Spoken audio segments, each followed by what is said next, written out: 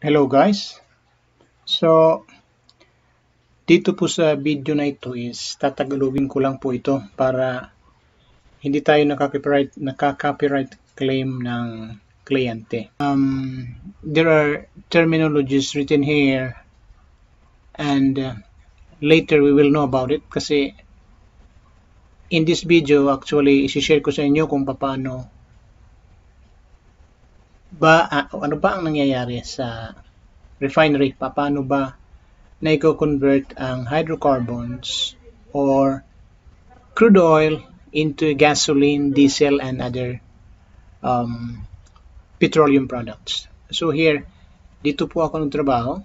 This was my last project from mm, 2015, no, 2014 of November up to the time na um, umalis na ako dito because of the pandemic at nagbawas na rin po ang tao.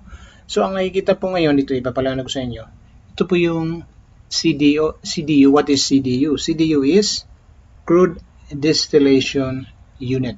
So dito po nagsisimula kung in, dito sa portion na ito po um, nagsisimula ang process ng crude oil.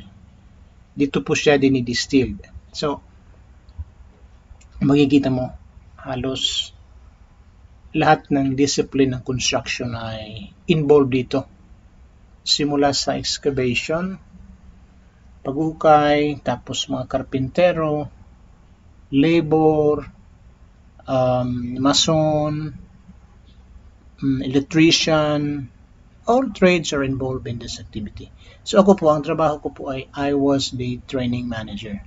So in this work, dyan po ay hindi mapagtrabaho pag walang permit. So I was doing the permit to work training and all other safety trainings, authorization trainings. I was the one doing it.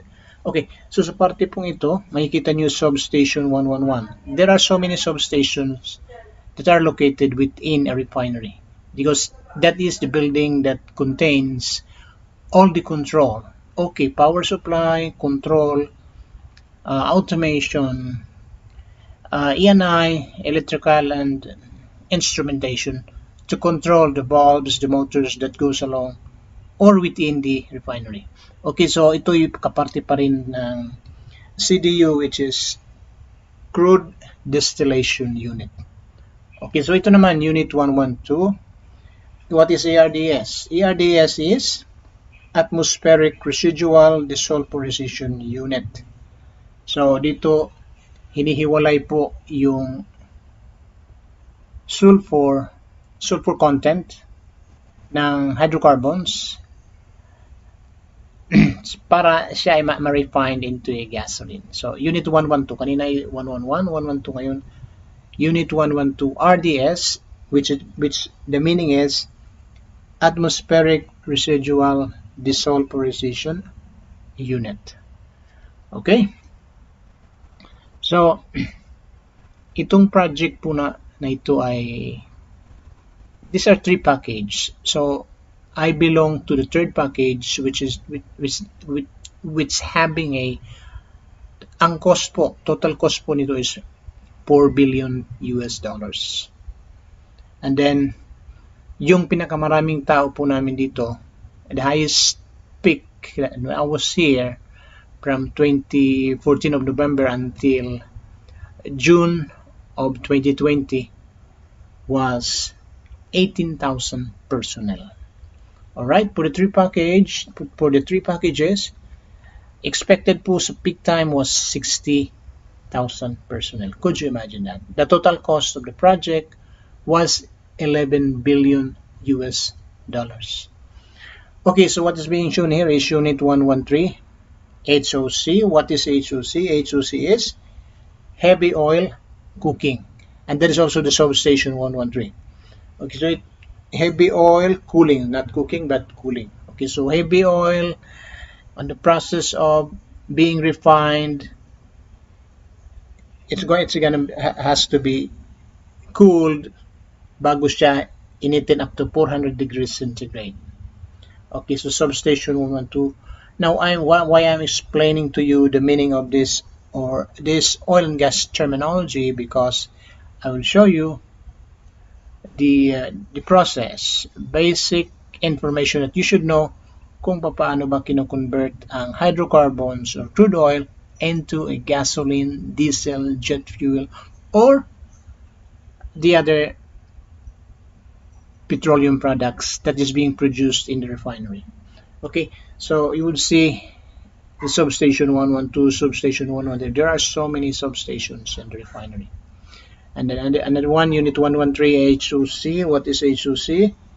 Heavy oil cooling. And then unit 114 HCR. What is HCR? HCR is hydrocracker or that is hydrocracking, which means um, it is mixed with uh, catalyst and it is being cracked or inano siya, tinatanggalan ng mga impurities para diretso na pag nagpunta siya sa or um, during the distillation the hydrocarbons or the crude oil itself is going to be to get refined. Kung mapapansin po ninyo, this pipe rack is up to fourth level. So, kasi this video is taken by a professional third party drone shot professional. So they're coming here every end of the month. They will be doing photo shoots and then there's drone video flying over the refinery because that's going to be used in the reporting to our head office in Sharjah okay so what is MOB MOB is maintenance office building. So those are the buildings used in maintaining the whole refinery. Of course, a running refinery has to be maintained. Has to be there are personnel who will look after the proper maintenance of all of the equipments. So this is unit 115 KHT. So what is KHT? KHT is kerosene hydro treater. Okay, so I am trying to um, clearly explain to you what are those oil and gas terminology. Substation 116, there are so many substations. They're covering, um, or, or the refinery itself is subdivided where a particular substation is covering a certain area which motor or controls that goes to the substation and the supply of power okay? So this is unit 116 DHT what is DHT diesel um, DHT is diesel hydro treater. So if you would know a refinery is the whole thing is it's it composed of different parts. It's just like if you will open a, a radio or a transistor radio old one you will suggest so many IC there's so many components that belongs so that the that radio could operate could function. The same thing with the refinery. Okay unit 117 NHT what is NHT NHT is naphtha hydro treater unit. So naphtha is a, um, a petroleum product also taken from the hydrocarbons and then this again is substation 214 so if you note here in 2017 the um, the the civil work is almost finished. Excavation has been done. They're doing backfilling. They're putting the pipes. Because in a refinery there is excavation. There will be above and below the ground pipes different types of pipes GRE pipes carbon steel pipes all of those materials are here. Yeah, could you imagine this is a four billion dollar project? Okay so during this year 2007 as if my memory serves me right we got a 16 or 17 thousand manpower. Of course that is comprise it comprises all of the people work working for the refinery. of course there are people who are staying in the office there are people who are staying in the fabrication shop but in my rough estimate those who are on site actually doing the pipe racks on the buildings working in one place roughly there will be 12 10 to 12,000 who are on site okay so now this is the unit main pipe rack north to south. So this is these pipes are coming from the existing refinery. So from here now if you will see that orange color pipe that is live already because there is a portion in uh, Mina Abdullah 2 because this is divided into two. Where we are working is Mina Abdullah 1 that side is Mina Abdullah 2 there is a part there that's already in operation. So what they did is they, they, they there was some kind of safety um, barricading provided to mark it down that it is already live. Okay? So okay MOB1 maintenance office building so at this point you, you you're looking at the um, rooftop MOB2 rooftop. Now they're doing some um, finishing or coating some asphalting waterproofing.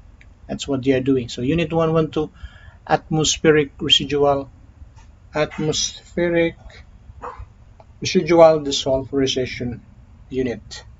That is the part where the um, sulfur content is being taken out or being taken from the hydrocarbons or the crude oil.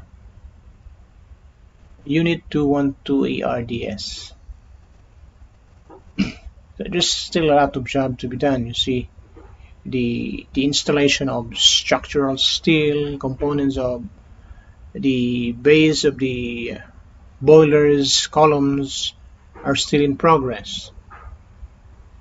But at this point of construction, you can see that it is already forming as a, it looks like a refinery already.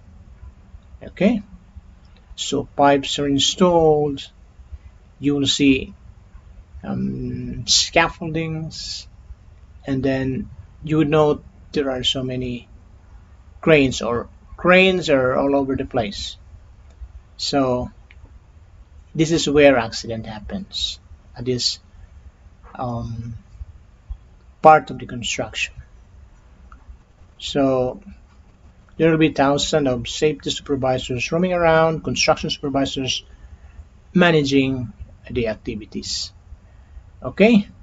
So we're almost covering all of the parts or locations within the Mina Abdullah 2 o Mina Abdullah 1 refinery.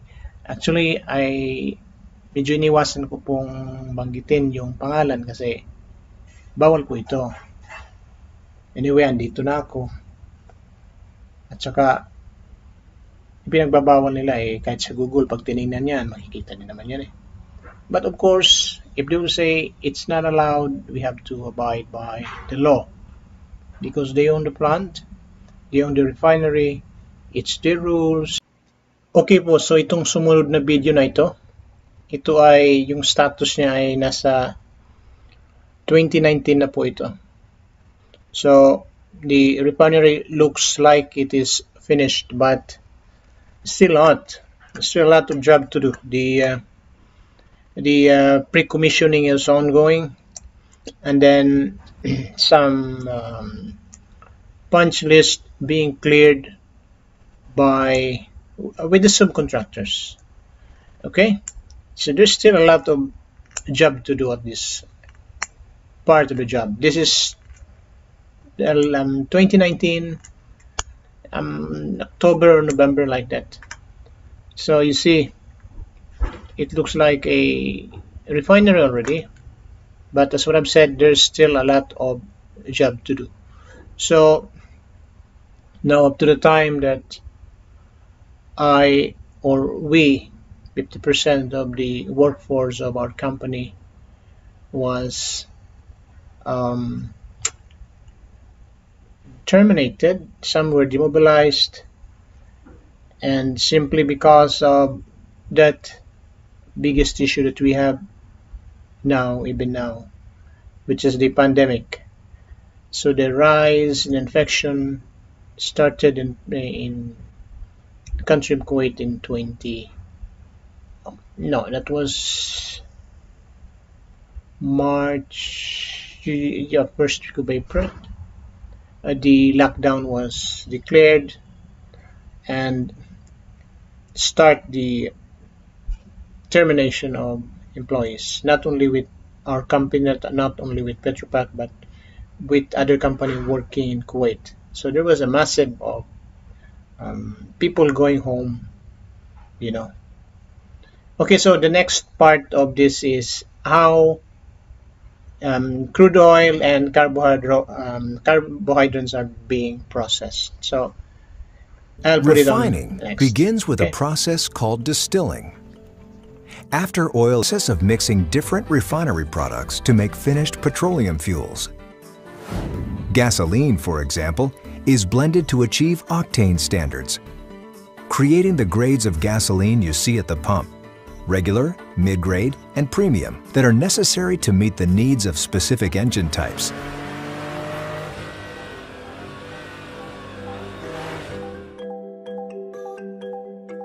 Treating is a process used to produce cleaner gasoline, which helps protect both the environment and our health. Gasoline molecules contain impurities like sulfur that can be removed. When the molecules are heated and come in contact with a special catalyst, a chemical reaction occurs that strips the sulfur away. These sulfur compounds are used as fertilizers and in pharmaceuticals. Nothing goes to waste in a refinery. Crude oil comes out of earth it is in raw state and cannot be used directly in any way. It must be refined to make it into usable products. Depending on the type of crude oil, it is treated by different refining processes to turn it into many useful end products. Mainly these products are fuels, lubricating oils, waxes, chemicals, plastics and many other products used every day in modern society. The refining process takes place in three steps to change the crude oil into finished products. In this process the first step is to separate the crude oil into its naturally occurring components. This is known as separation and is accomplished by applying heat through a process called distillation. To simplify the process we consider one tower where distillation process is taking place. Crude oil is supplied to a furnace before the distillation tower, where crude oil is heated and vaporized and it becomes the crude oil mixture. The vapor and liquid mixture is then fed into the bottom section of the tower. The feed section is the hottest point in the distillation tower and can reach as high as 400 degrees C. Components that are still liquid at this elevated temperature become the tower's bottom product. Components that are in vapor form rise up the tower through a series of distillation stages. The temperature decreases as the vapors rise through the tower and the components condense. The yield from a distillation tower refers to the relative percentage of each of the separated components, known as product streams. Products from the distillation tower range from gases at the top to very heavy, viscous liquids at the bottom. In all cases, these product streams are still considered unfinished and require further processing to become useful products. Light products, light ends are further separated into propane, normal butane, and isobutane. This stream is often referred to as liquefied petroleum gas, LPG, and is sold as a cooking and heating fuel. Naphtha, could be blended into motor gasoline, but is more likely sent to a catalytic reforming unit for octane improvement. Kerosene, is generally treated and used as jet fuel. Heavier distillate streams, are also treated and blended into finished diesel fuel or home heating oil or are further processed in conversion units such as fluidized catalytic cracking and hydrocracking.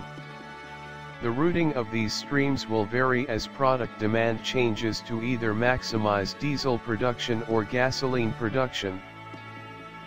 Lowest end of columns, asphalt, power generation.